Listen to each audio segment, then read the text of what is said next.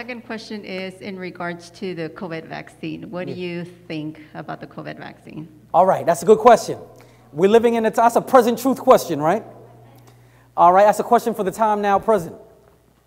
All right, so the COVID vaccine, what do I think? I like the way she phrased that question because I'm going to give my opinion on it, what I think.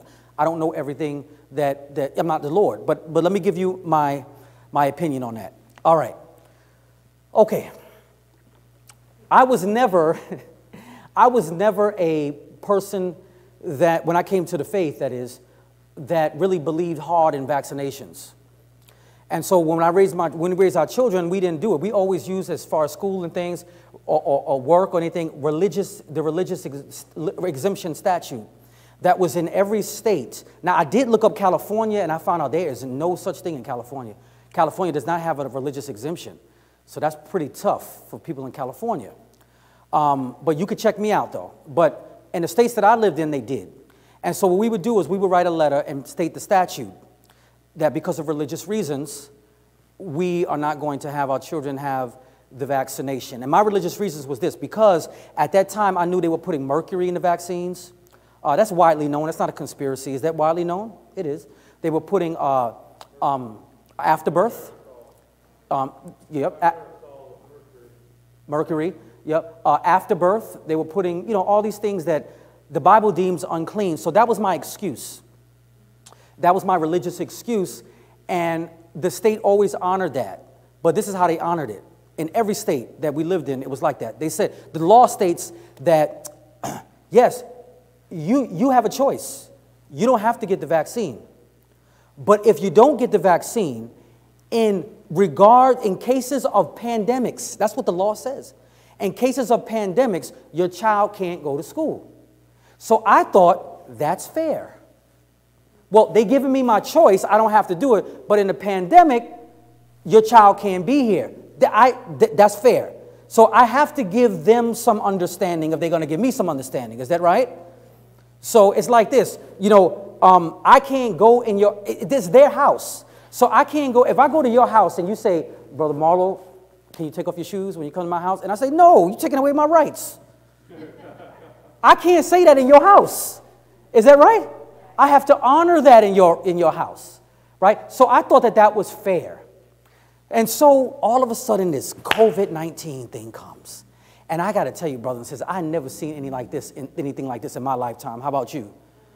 This thing is a global pandemic. People are dying. I know people that are suffering with this stuff. It's real. And I like to breathe. You like to breathe? This thing attacks your lungs. And, brothers and sisters, even if you recover, it, it, it, it leaves a mark on your lungs until you die. You are hurt from it. It's not like anything we've ever seen, this COVID 19 thing. It's wicked. And so, brothers and sisters, when this came in, when this came up, I, it, it, it made me have to restudy this thing. And then I looked in Matthew 24, and this was this is exactly what Jesus was talking about when he said pestilences. Because a pestilence is some is a disease that comes from animals. And that's exactly what COVID-19 came from. This, this is exactly what Jesus was talking about. This is not something that, you know, it's a lot of things people say, oh, man made this up, and man came up with this in a laboratory, and it, regardless of all that, Jesus said it was going to happen. And it's here. So we can't ignore it. Is that right? This is prophecy being fulfilled in our days. And so I had to look hard on it. I said, Lord, what am I going to do? I, let me look at this thing. So I looked at it and I looked at, brothers and sisters, what Pfizer Biotech was doing with their vaccine. I looked at what Moderna was doing with their vaccine. And I looked at what Johnson & Johnson and another one as, as, as. AstraZeneca. Say it again? AstraZeneca. Okay, he said it. That's in, in, in, in uh, England, right? So I looked at these vaccines and I zeroed in on Pfizer and Moderna. And I found something. I found something. When I looked at the Pfizer, and, and, the Moderna thing, especially the Pfizer, I looked at it and I found that they, uh, the scientists came up with this new mRNA technology. You heard of that? Well, with this technique, and I looked at the data, the scientific data. I didn't look at some article. I wanted to look at the data. So I looked at that, and it's hard to read, but you just got to have a dictionary next to you, you know, but you can do it. And so I, I read the data, brothers and sisters, and what I found out was this that this new is a new technology. This technology, they have never, they have never done this with vaccines. This new technology, uh, uh the, the, the, uh, the, the vaccine does not contain in any least bit part of the disease, of the virus. It doesn't have the COVID 19 virus. And also, when it goes into the cell, it does not go into the nucleus, thus, thus altering DNA. It does not altering, alter DNA at all. Another thing I found out about it is, is vegan. They actually use those words. There's no animal product, there's no uh, afterbirth, there's no pig, there's no swine. And so I looked at the information and I said, I don't have a choice. I don't have an excuse. I can't use the excuse that I used before. That, you know, I'm doing it because of unclean things and the vaccine. I don't have that excuse anymore. So I had to think hard about this thing. And I thought about the eight laws of health. The eight laws of health. The eight laws of health are preventatives. You know that, right? They're preventatives. As a matter of fact, the spirit of prophecy pushes this notion. It says prevention is better than what? Come on, nobody know that? Y'all know that? I, am gonna say it then. If you don't know it, it's okay. You don't have to know it. Let me say. It. If you look, read the Spirit of Prophecy, especially the book Ministry of Healing, it promotes this concept. Prevention is better than cure. It's better to be to prevent a virus or a disease on you than to have to cure it when you got it. Is that right? So prevention is better than cure. And brothers and sisters, that's exactly what a vaccination does. It's for preventing something so that you won't have to seek for a cure. It's for preventing. So I looked at this thing and I said, wow, Lord, this is incredible. And so I started reading, looking for, the, looking for answers in the spirit of prophecy. And I found out Ellen White says nothing about vaccinations. You know that? She don't say one word about it. But I did find a person who did write about what Ellen White did in a pandemic. And that's widely known. Now, there's a story, and I can get this quote to you, but it's not from Ellen White, but it's a, a, a man that knew Ellen White and knew of the situation. Remember, Ellen White lived during the smallpox pandemic. She lived during the smallpox pandemic. And, and so when the smallpox pandemic came, this man said that he knew that Ellen White got the vaccine. And she not only got the vaccine, she told the workers that worked around her that they need to get it too. She encouraged them to do it, and they did. They did, brothers. And, and let me tell you something.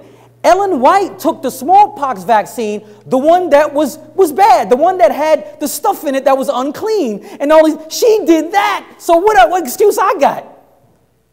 She did it. Now, brothers and sisters, I also find certain things in the spirit of prophecy that certain things that she said we shouldn't do on a normal basis, under emergencies, you may have to do. For instance, she said people with extreme anemia, you're about to die, and it's an emergency situation. She said take a raw egg and drink it, and that'll save your life.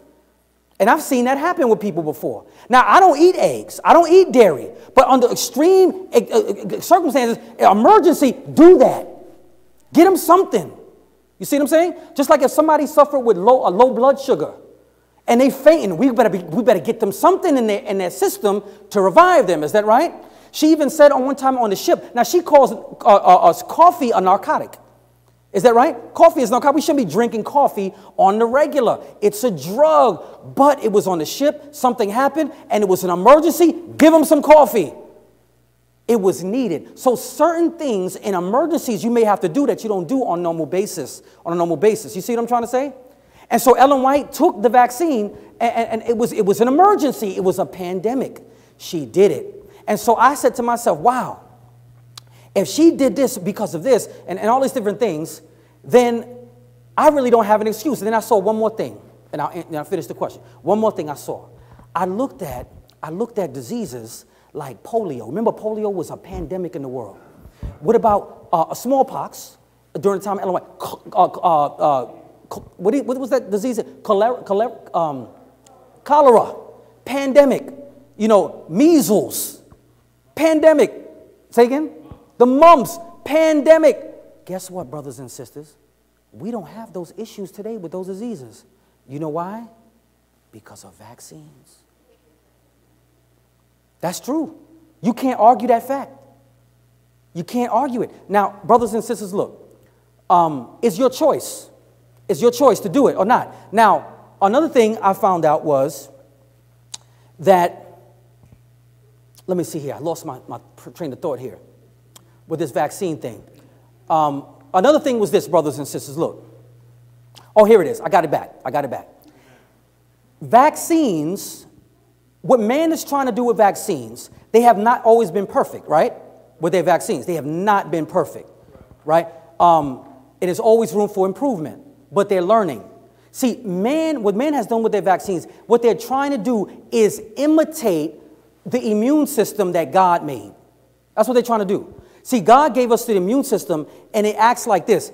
If, if, if we're susceptible to some disease like chicken pox or something like that, we get it.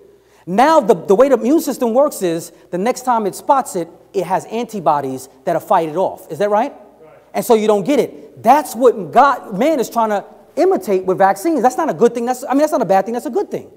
So they're just trying to do that. Now, on the way in doing that, they have made mistakes because it's a learning process, unfortunately.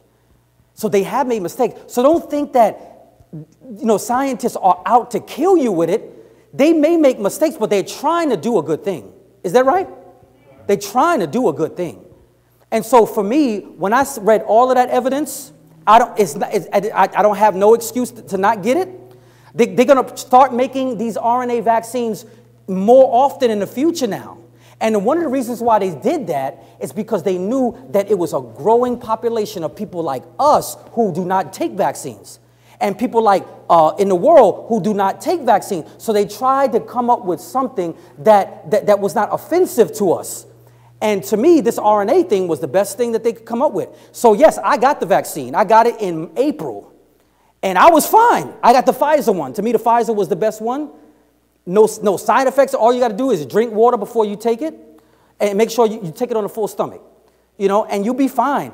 And your arm hurts for maybe a night, and that's it. I did it, brothers and sisters. Why? Because I believe prevention is better than cure. Prevention is better. I, I, want, I like breathing.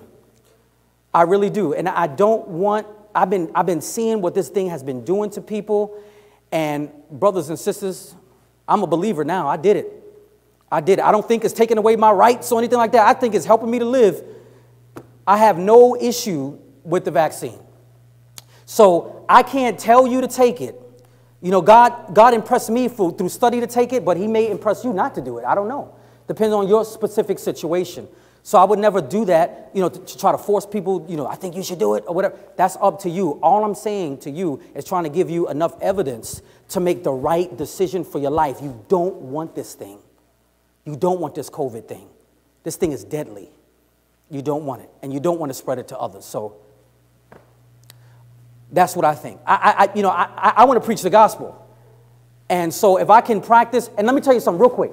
In 2020, when this thing came out, the whole 2020, we were locked down. Remember, we were all locked down. We was all in the house. It was locked down. I did, the vaccine was not available. I did vitamin D, vitamin C.